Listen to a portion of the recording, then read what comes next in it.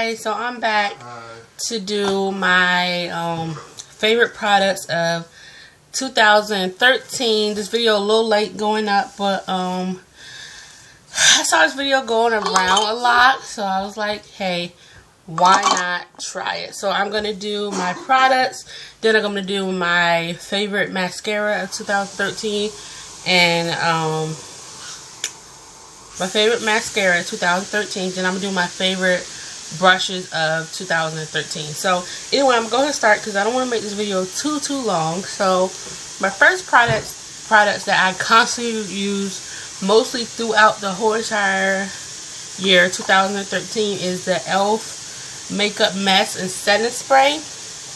Right here. And I love this product. For it to be only $3, it's a really good product product and it set my makeup well. And I just started using the Urban Decay All Nighter Spray. So I'm going to see how that go. If you guys want to see a couple of hairstyles, what I do with my, couple of hairstyles I do with my bot spray, this is one of the hairstyles I do.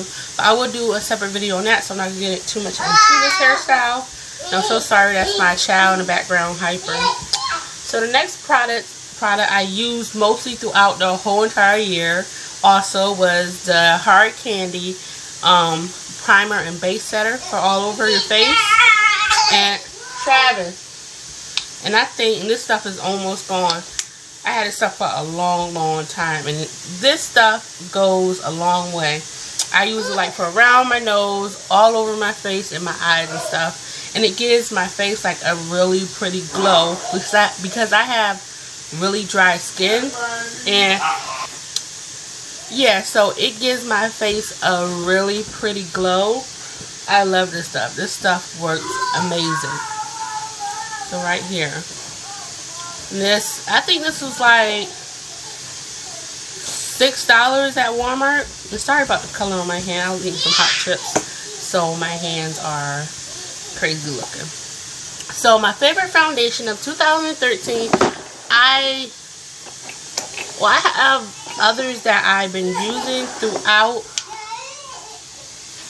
So I use a lot of foundation, try different, you know, all sorts of foundation throughout 2013. And I really switched back from the Travis. Sorry guys. Sit down. I really switched back from the these two right here I mostly used this one throughout 2013. This brand I really use. And also, these was the most mostly used foundation. Travis, sit down. I'm sorry guys. These was the mostly used foundation of the 2013. I don't know why I'm showing this. I'm showing my favorites. But these are also really good products that I love. Foundation I love throughout 2013. Um, this was okay. It was a light coverage for me, and I don't. I need a, um a full coverage because I have a lot of black marks on my eyes. So this didn't really work. Um, this right here, it works pretty well, but it's not my skin color. color. Like, it's the darkest color they have in this foundation, but it shows up orange on my face for some reason. And this this is mainly what I use until I started using the um, Mary Kay foundation. And my color is Bronze 5. And this stuff is oil free. Um, it's, it smooths on your face so well. And it, the coverage is really good. So I'm really loving this. This is this is my all-time favorite. I really started using about three months ago. This is my all-time favorite foundation that I'm going to start buying because I really, really love this foundation off foundation. Well, my other, oh my god, this stuff works miracles. Like, this is a real, and it kind of, it's kind of like, I guess that mean it's running out. I need to get another one. But they sell Pur Mineral at Ulta if you guys want to try this brand. I also have the foundation. I haven't used the foundation yet. My color is dark. And the, um, sorry guys. So as I'm saying, my color is dark in a Pur Mineral um, the Pur Mineral Foundation, but the powder is amazing. Like the coverage, and I use this as a setting powder after I put my foundation on. So after I go in with the Mary Kay foundation, I go in with the Pur Mineral. Um, I'm trying to see. Uh, press. So this is like you can use as a setting powder. That's exactly what I use. Or if you don't want to use it as a you can also use it as a foundation if you don't like liquid foundation. And this have really, really good coverage. And once again, you can find this at Ulta. Um, one palette I was really obsessed with this year because uh, I'm really into the natural look. I don't really like the bright bow eye look. I don't really I'm getting into it, like trying around with different colors and stuff, but I really, my go-to look is more so a natural look with a bow lip. So this right here has been my go-to palette for months. Like this is my favorite palette of 2013. Um, and it's called a Sally Girl, Sally Girl palette. It's a, it's got it from Sally's. And it's like the little natural palette to go. And these colors went a long way. Like, I'm surprised I'm not even at the bottom of it. Um, so, my favorite concealer of 2013, which I really started before I was using this concealer, I was using the TJ, get out your mouth. I'm sorry, guys. Before, um, I was using, what was it? I was using the Studio Finish Concealer by MAC like I have like five samples of these and just these samples went a long way. So I've been using um I don't know if you guys can see that.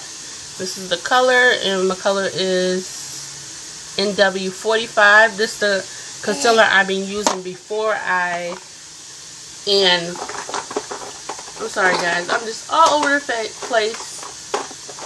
I'm trying to get this other concealer and this right here, the signature by Mary Kay. So these are the concealer I've really been using. I wasn't really into concealer for highlighting, so I'm really just now getting into it. But anyway, my favorite um my favorite concealer of 20, 2013, well the end of 2013, is the um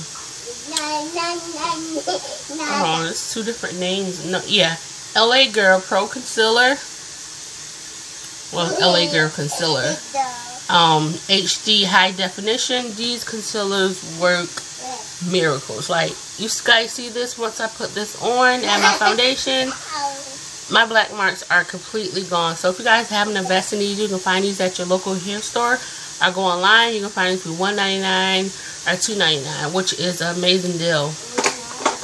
What is a like amazing price for the quality of it. So the last two things, my favorite things are of 2013 are the Big Eye by Maybelline and the Rocket Volume um, Mascara.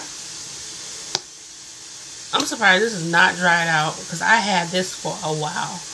Uh, I'm going to have to go buy another one of these because I heard you're not supposed to use mascara that's over like three months or so. But it's still, it's not dried out or nothing and I think it's still pretty good. And this is the big eyes. I have the two side. I, I more so use the skinny side. Um, yeah, so these are my favorite mascara. As you guys know, I told you guys I didn't like how my eye felt when I put on mascara.